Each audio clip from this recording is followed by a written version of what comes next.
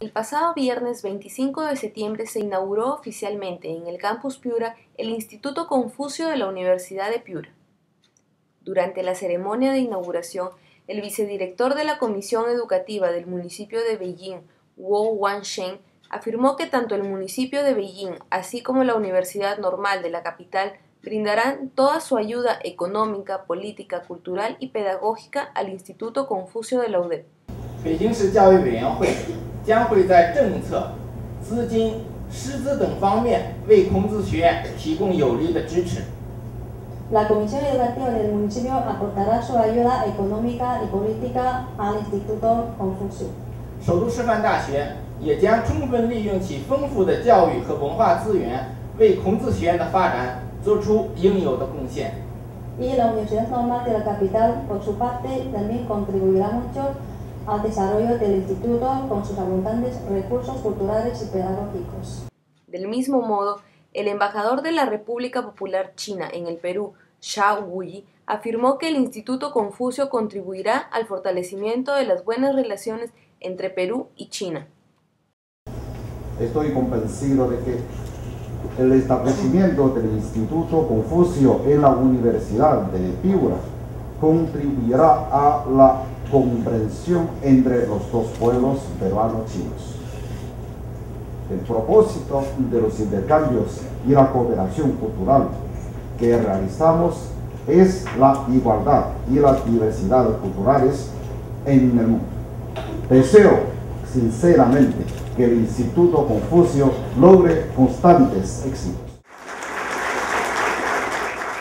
Luego de una breve oración, el padre Emilio Arismendi bendijo las instalaciones del instituto, que a partir de ahora funcionará en un amplio y moderno edificio donde se han instalado salones de clase y una biblioteca independiente. El rector de la UDEP, Antonio Bruña, y la vicedecana de la Facultad Internacional de Educación de la Universidad Normal de la capital, señora Han Mei, develaron la placa recordatoria en medio de los aplausos de más de 120 personas que se dieron cita a la ceremonia.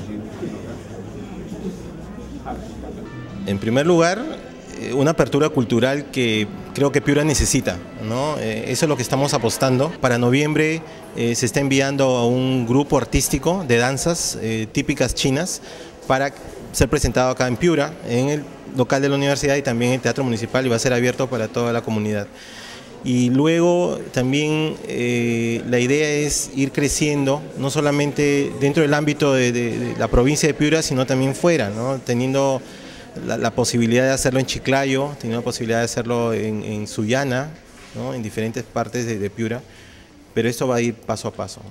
Vamos a animar a todos los alumnos de todas las facultades a, que estudien chino, ¿no? especialmente sabiendo que ya la mayoría de ellos tienen la base del inglés, entonces yo creo que aprender otro idioma les va a ser fácil, al menos para lo que es el desarrollo profesional y, y en facultades con las cuales ahora pues eh, el desarrollo que van a tener va a ser importante en cuanto al conocimiento del idioma chino, como es la Facultad de Empresas, eh, la Facultad de Comunicaciones, ¿no? con esto de las relaciones internacionales y, en general todas las facultades, ¿no? pero creo que esas dos tienen que ir primero liderando todo ello y para ello los invoco. Por el momento acá solo tenemos el nivel inicial, pero luego en el futuro cuando tenemos más profesores, más eh, oportunidades vamos a también dictar otros niveles de, curso, del curso de China. Los cuatro meses de este curso son un nivel mínimo, ¿no? o una, un plazo mínimo para obtener una, un nivel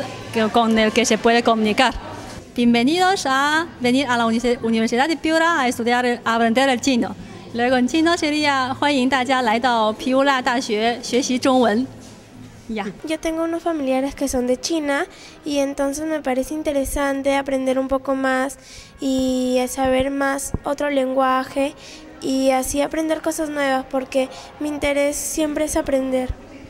Todos nos ha parecido muy bien y, las profe y la profesora que está con nosotros es muy buena y sabe enseñarnos todo y con detalles y así aprender más sobre la cultura y nos pone videos más o menos de cómo es China y sus costumbres. Y ya estamos aprendiendo cosas más difíciles y ya pronto estaremos aprendiendo cómo se escribe las, las letras en China.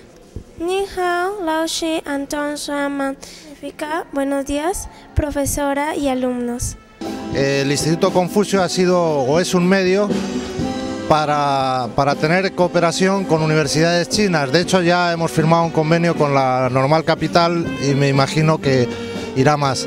Empezamos con la enseñanza del idioma chino y de la cultura china, pero es la puerta para una cooperación mayor con universidades chinas en investigación y en general en todo lo que es universitario. Cada vez más el idioma chino va a ser un idioma muy importante en las relaciones comerciales y de todo tipo entre los países.